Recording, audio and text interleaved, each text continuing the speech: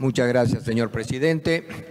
Eh, este año hemos dado comienzo a este nuevo periodo legislativo, por supuesto con las expectativas de siempre, y en realidad hubiese querido comenzar hablando de otro tema o presentando otro tipo de proyecto. Pero lamentablemente en el departamento de San Martín seguimos teniendo los mismos problemas que vienen desde el siglo pasado y que no son resueltos. Son problemas de necesidades básicas insatisfechas.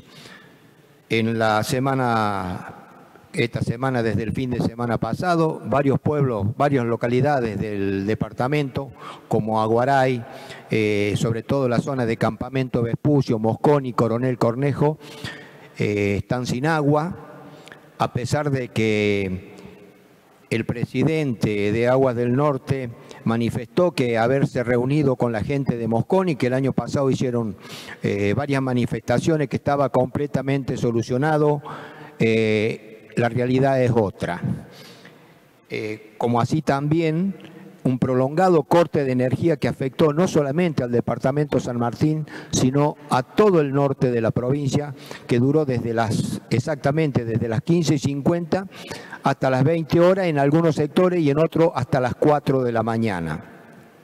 Actualmente se está trabajando en el campamento Vespucio, un, un paraje, digamos, que depende del municipio de General Enrique Moscone, otrora rico cuando estaba la empresa petrolera estatal. Una vez que esta empresa desapareció, eh, bueno, se acabaron las fuentes de trabajo. Eh, hoy en día, la verdad que muchas veces da pena llegar a Campamento Vespucio.